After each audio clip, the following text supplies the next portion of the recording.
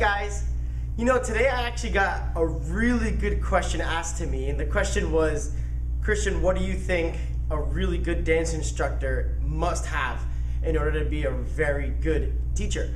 Um, so what I'm gonna do, just because there's a lot of like subjects that I could like split this apart in, I'm gonna talk about one. Um, I'll tell you the most important thing that I believe um, an instructor has to have in order to be a very good and successful dance instructor, and that is understanding what your student needs and not necessarily just giving them what they want.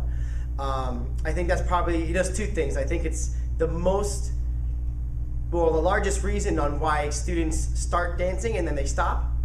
And I also believe it's why an instructor in the end doesn't become successful because what you're doing is if you start say, saying, hey, what do you want out of your private lesson? You want to just go over these patterns? Sure. You want to learn how to do a triple turn? Hey, let's do it. Um, you know, you just start giving them exactly what they think they need. But if you think about it, if they knew what they had to do to fix their problems, wouldn't it already be fixed? Um, that's how I always look at it. So I always look at, you know, what's the real problem in this person's dance that's going to help them not just get past this little, you know, uh, problem, but also fix what really matters, is the way that they feel while they're dancing, whether it's you know their time, their technique, or whatever the case may be. Just figuring out what they really need and not just giving them what they want, because I call those instructors ego feeders.